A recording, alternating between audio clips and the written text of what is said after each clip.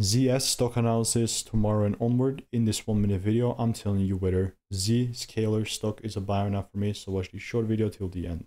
Sitting at $160.02, 3.8% up for the day. This is a pretty, pretty what? Pretty bullish market for me.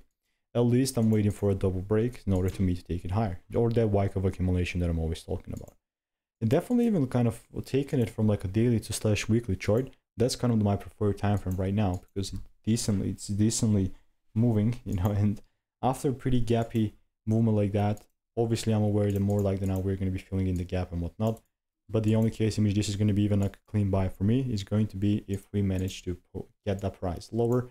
Obviously, if it likes to go lower, like I'm, I'm not going to try and force the price because I cannot control the price, of course. Like if it does not give me the rules, then I'm not going to be taking it even higher or lower. Doesn't matter.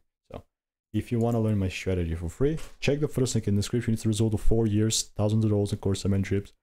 Check it out for free.